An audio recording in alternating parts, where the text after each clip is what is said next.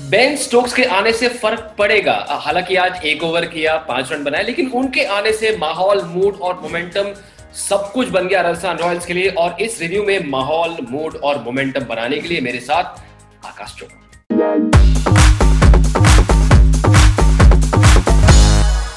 आकाश, Rajasthan Royals के लिए तीसरी जीत, हैदराबाद के लिए चौथी हार, और इस पाँच पॉइंट वाले रिव्यू का पहला पॉइंट राहुल तेवड़िया की बात कैसे ना करें? 28 गेंदों में 45 रन चार चौके दो दो छक्के और उन्होंने विपक्ष के सबसे मुख्य हथियार को नाकाम कर दिया। अंडर प्रेशर राशिद खान को रिवर्स स्वीप लगा रहे हैं। वो जो शारजा में किंग्स इलेवन के खिलाफ किया था वो तुक्का तो बिल्कुल नहीं लगा। आज जो हुआ उसके बाद? आ, बिल्कुल तुक्का नहीं लगा और एक बात यहाँ पे कहना ज़रूरी है कि क्या आप मेरे से बेन स्टोक्स जैसी प्रदर्शन की उम्मीद कर रहे हैं? आ, उससे बेटर बेटर मैं परफॉर्म कर पाऊँगा। वैसे मैं क्वारंटीन में नहीं रहा हूँ तो अब मैं थोड़ा बेहतर फॉर्म में हूँ, बोलना always easier than doing so चलिए बात करते हैं राहुल तेवटिया की। बिल्कुल ठीक कहा आपने, जिस तरीके से उन्होंने बल्लेबाजी की है, जो उन्होंने जो कंपोजर दिखाया है डिफ़िकल्ट होता है। देखिए, सबसे मुश्किल काम क्या होता है, जब आप अंत में बैटिंग करने जाएँ कि आपकी जो थिंकिंग है, वो कितनी क्लटर्ड है, वो कितना आप अंडर प्रेशर काम होके सही डिसीज़न ले सकते हैं।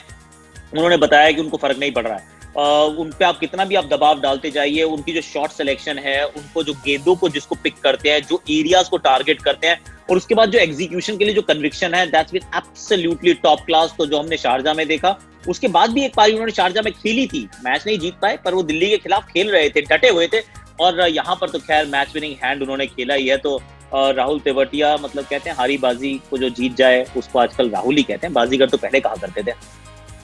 क्या बात है? हमारे इस रिव्यू का पॉइंट नंबर टू और राजस्थान का hero number two Riyan Parag जिन्होंने आज बाजी पलटी। आकाश, दसवें ओवर में बल्लेबाजी करने आए जब उत्तपा आउट हुए स्कोर था तिरसठ पर चार।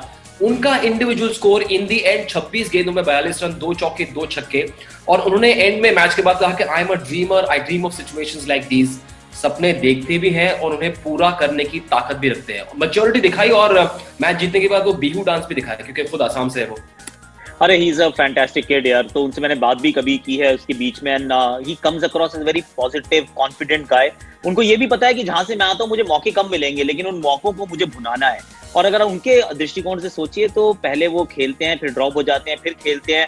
ये जो अंदर बाहर की जो कहानी रहती है युवाओं के साथ तो वो थोड़ा मोराल डाउन करने के लिए काफ़ी रहती है। पर जिस प्रकार से वो खेले, और हम बात राहुल तेवटिया की ज़रूर करेंगे match winning hand and all of that लेकिन ये संभव हो ही नहीं पाता अगर रियान पराग दूसरे छोर पे नहीं करते जो उन्होंने किया। क्योंकि वो जो छक्के लगाए, वो छक्के इंपॉर्टेंट थे, वो चौके लगाए, वो उस समय बहुत इंपॉर्टेंट थे। भाग्यशाली रहे कि एक वो कैच छूटा प्रियम गर्ग कैच छूटते, छोड़ते नहीं है। बहुत कमाल के फील्डर हैं। उन्होंने थोड़ा सा वो ओवर रन कर गए बॉल नहीं पकड़ पाए और ये मैच पकड़ के ले गए। रियान पराग के फ़र्स्ट क्लास नंबर्स भी अच्छे हैं। तो what we are seeing here ना चाहे अब आप तेवटिया की, आप शारजा की, यहाँ की बात कर लेते नॉट फ्लैश एंड पैन कि भाई एक फ्लैश हुआ अच्छा किया और उसके बाद आगे कुछ नहीं दिखेगा।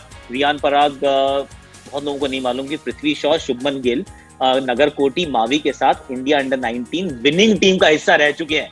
तो he is that work in progress for a very long time वो क्लास ऑफ़ 2018 के हैं। अब एकदम से पके हुए क्रिकेटर की तरह खेल रहे हैं।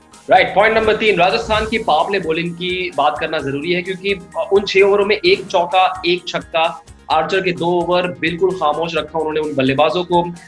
वॉर्नर बेस्टो के हाथ बिल्कुल खुलने नहीं दे। क्या असेसमेंट थी आपकी उस पावले की और उस बॉलिंग परफॉर्मेंस की? और देखिए, इसके दो भाग हैं। एक तो ये कि यूज़ पिच थी तो थोड़ा सा बल्ले पे गेंद उतनी अच्छी तरह आ नहीं रहा था फ़र्स्ट स्टोरी सेकंड इसकी जोफ्रा आर्चर जो है, वो टॉप क्वालिटी गेंदबाज है, उन्होंने टॉप क्वालिटी बॉलिंग की, इसमें कोई डाउट ही नहीं है। इनफैक्ट पहले तीन ओवर में उन्होंने सिर्फ़ छह रन दिए थे। कुल मिलाकर उन्होंने चार में पच्चीस दिए, पर पहले जो उन्होंने तीन ओवर डाले, उसमें सिर्फ़ छह रन दिए थे और वार्नर को उन्होंने वापिस आके आउट भी किया। और अगर आप हैदराबाद के दृष्टिकोण से सोचे तो उन्हें अच्छी तरह पता है कि वार्नर बेस्ट हो, बाद में आते हैं विलियमसन ज़्यादा बल्लेबाजी में गहराई नहीं तो आप जोखिम उठाना ही नहीं चाहते हैं। और इस पिच के ऊपर जो par for the course score था, वो अबाउट 160 165 था। तो अगर आप वहाँ तक ही पहुँचना चाहते हैं तो फिर you don't really go too hard too soon तो जितनी हम तारीफ़ करेंगे राजस्थान रॉयल्स की अच्छी सधी हुई गेंदबाजी की, उतने ही उसके लिए रिस्पॉन्सिबल थे जो सनराइज हैदराबाद का रिस्पॉन्स था, क्योंकि वो जोखिम उठाने के लिए तैयार ही नहीं थे। चौथा पॉइंट हैदराबाद की डेथ बॉलिंग का ज़िक्र ज़रूर करना पड़ेगा। चार ओवर में, आखिरी चार ओवर में चौवन रन चाहिए थे। संदीप, राशिद, नटराजन, खलील सभी ने एक एक ओवर किया। वार्नर ने मैच के बाद कहा कि हमने गलत गेंदे डाली। क्या अलग कर सकते थे डेथ ओवर्स में तेवटिया और पराग को रोकने के लिए? और देखिए, संदीप थोड़ा सा वीक लिंक बन गए हैं अनफॉर्चुनेटली इस टीम के, और ये थोड़ी सैड स्टोरी है, क्योंकि संदीप अच्छी गेंदबाजी करते हैं, बहुत विकेट्स उन्होंने चटकाई है। अगर भूवी नहीं है तो somebody has to take on that mantle तो वो नहीं हो पा रहा है। नटराजन ऑफकोर्स बहुत अच्छा कर रहे हैं इज़ ग्रोइंग इन स्टैचर लेकिन नटराजन भी अनकैप्ड इंडियन प्लेयर है। संदीप शर्मा से ज़्यादा उम्मीदें आप रखते हैं। खलील तक तो खैर ओवर ही आखिरी बचा था तो आपके गन डेथ बॉलर वैसे जनरली वो माने नहीं जाते। वो एक ओवर था जो राशिद खान का था, जिसको उन्होंने मान के चल रहे थे कि अट्ठारहवा ओवर डालेंगे। और मैच को एकदम से पलट देंगे, लेकिन वो तीन गेंदे, तीन चौके। पहले वो दो रिवर्स स्वीप के चौके थे, और उसके बाद एक कवर्स के ऊपर से I think that was the shot of the match उसने it sealed the deal in favour of Rajasthan Royals और गेंदबाजी में बदलाव तो नहीं कर पाएँगे ज़्यादा, पर बेहतर ज़रूर करनी पड़ेगी संदीप शर्मा और खरीद को। और राजस्थान के लिए बड़ा लक्ष्य इसीलिए नहीं था, अब एक सौ अस्सी, एक सौ नब्बे, क्योंकि एक और बार जोफ्रा आर्चर ने वो किया, जो अक्सर वो करते हैं, चार ओवर में एक विकेट लिया, लेकिन पहले दो ओवर उन्होंने खामोश रखा बल्लेबाजों को। और वापसी करवाई तो वार्नर को आउट कर दिया। फिर विलियमसन का स्वागत किया दो आतशी गेंदों के साथ। ये एक ऐसी फिक्स डिपॉजिट है जो लगातार रिटर्न देती रहती है। खिलाड़ी देखिए, बहुत टॉप क्लास और बार बार इस बात को ये पुष्टि करते हैं, ये वैलिडेट करते हैं कि बोलर्स के ऊपर आप दाम लगाइए, क्योंकि बोलर जो है मैच दर मैच वो अच्छा प्रदर्शन करके आपको देते हैं। बैट्समैन एक दिन अच्छा खेलता है, दूसरे दिन आउट हो जाता है। और उतना उनका कंट्रीब्यूशन जब जल्दी आउट हो जाते हैं तो मैच में रहता ही नहीं है। और अगर आपके पास बुमरा गबाडा जोफ्रा, अगर आपके पास ऐसे गेंदबाज हो ना तो फिर आप अगर चौदह मैचेस की लीग रहती है तो उसमें से 10 से 12 मुकाबले आपको कंट्रीब्यूट करके देते हैं। They are 20 percent of your bowling overs तो मुझे तो लगता है कि Jofra is worth his weight in gold not the one that is wearing around his neck उनसे तो बहुत ज़्यादा है।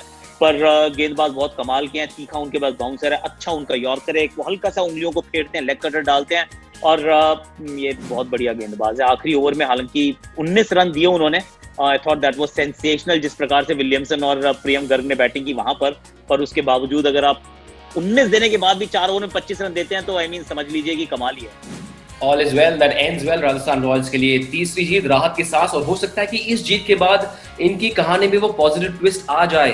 फ़िलहाल तो सिर्फ़ छह पॉइंट है, लेकिन आगे और आधा टूर्नामेंट लीग स्टेज में उनके लिए बाकी है। देखते हैं आगे क्या करते हैं, लेकिन हमें यहाँ पर हमारी गाड़ी पर थोड़ा सा पॉज लगाना पड़ेगा। हो गया हमारा पाँच पॉइंट वाला review thanks so much Akash. आपसे तो मुलाकात होती रहेगी रिव्यूज़ ऑफ़ रिव्यूज़ पर, ये स्पिन